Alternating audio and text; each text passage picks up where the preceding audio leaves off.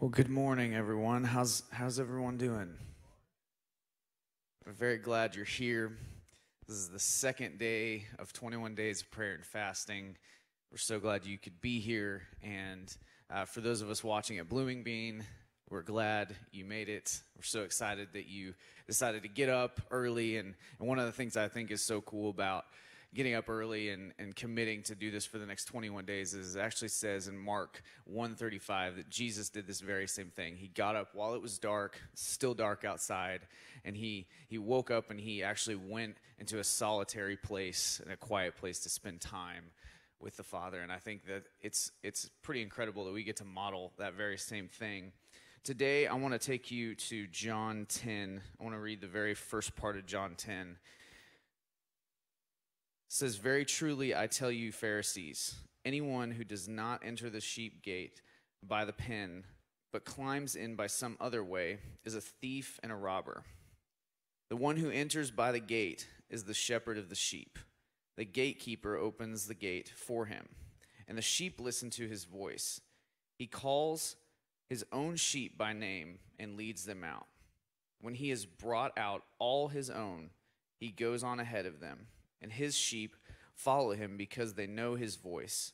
But they will never follow a stranger. In fact, they will run away from him because they do not recognize a stranger's voice.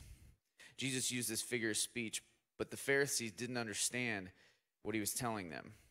Therefore, Jesus said again, I kind of picture like this big eye roll from Jesus, like, oh my gosh, I've got to explain this to you again. Okay, let's let's let's talk more about this. So he goes on, he says, Very truly I tell you, I am the gate for the sheep. All who have come before me are thieves and robbers, but the sheep have not listened to them. I am the gate. Whoever enters through me will be saved. They will come in and go out and find pasture. The thief comes only to steal, kill, and destroy.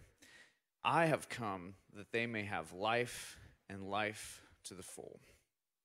One of the things I, I want to focus on, there's, there's so much to unpack in, in just those few verses, but one of the things I wanted to focus on specifically today was God's voice. And I think in this time, it's really crucial that we take advantage of being in a place where we can tune out all the noise, tune out all the distractions, and really focus in on God's voice. I'll take you back to verse 3. It says, The gatekeeper opens the gate for him, and the sheep listen to his voice.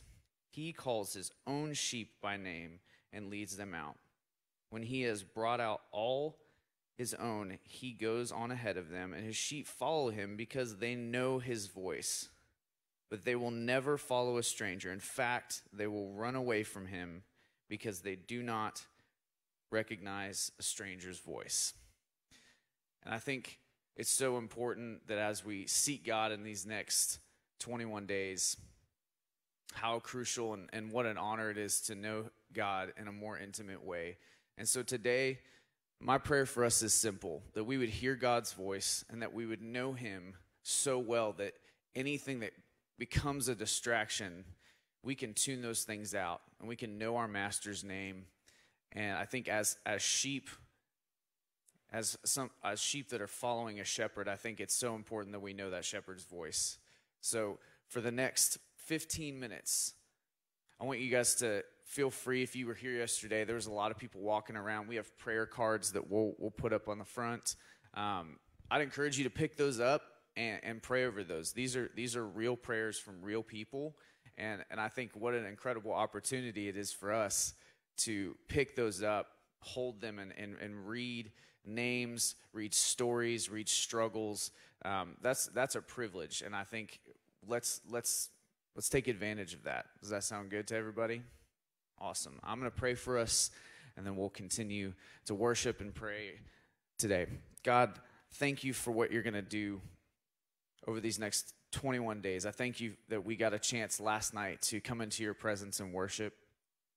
Lord, I thank you for the simple message of Jesus that he came for us, that he wants to know us in a more intimate way. And so, God, I pray that we would tune into your voice. God, I pray that we could get rid of every distraction that we may have brought into this room, even at this early hour.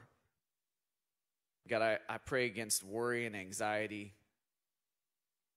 And I pray for each and every person in this room's day ahead. And I, I just thank you for bringing them here first while it's dark, while everybody else is kind of probably still getting up and, and getting ready for their day, Lord. I just, I thank you that I love seeing the discipline here of coming and meeting with you today. So it's in Jesus' name that we seek you. Amen.